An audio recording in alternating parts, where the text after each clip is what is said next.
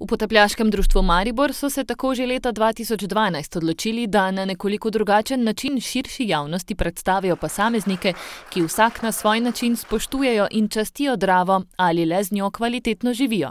Da na nek način počastimo neke posameznike, ki zdravo delajo, delajo na Drave ali kakršnokoli na nek način, da so povezani z Dravo. Ne. Trenutni eh, kralj Drave je dr. Damjan Denac, eh, direktor Društva za opozorjanje ptic Slovenije. Letošnje je sva čez par minut več ne bo skrivnost. Tako so letošnjo krono oziroma žezlo predali direktorju Dravskih elektrarn Maribor Andreju Tumpeju. Uh, čast, ampak zdaj že dve, tri minute od tega minilo, ampak že to jemljem bolj kot obveznost, ker vidim, da bo čast je, ampak uh, nas pa uh, tudi mene in tudi, tudi našo družbo zavezuje v prihodnje, da uh, skrbimo za reko Dravo. Torej, reka Drava nam daje res ogromno in uh, to ji tudi moramo znati vrniti. Vrniti tako sami reki, kot tudi vsem ljudem, ki živijo v reki Drave, da bi jo čutili kot svojo in uh, uživali v njenih lepotah.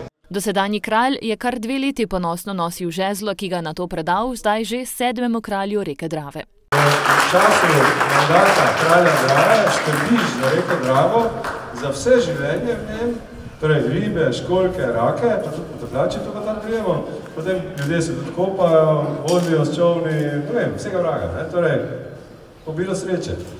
Letošnja predaja žezla novemu kralju reke Drave je sicer potekala brez tradicionalnega krsta, saj so predajo oblasti opravili na Mariborskem gradu. Pomembnost te funkcije pa je poudaril tudi Mariborski župan.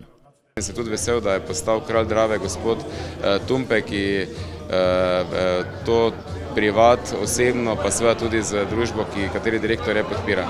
Kralj rabi dobre sodelavce, svetovalce in če ima na drugi strani mestne občine tudi ljudje, ki, ki si želijo istega, potem je lažje to v timskem duhu tudi narediti in mislim, da nam bo to uspelo. Sicer pa v načrtu mariborskega župana tudi ureditev nabrežja reke Drave in na ta način tudi povezati življenje ob reki in na njej.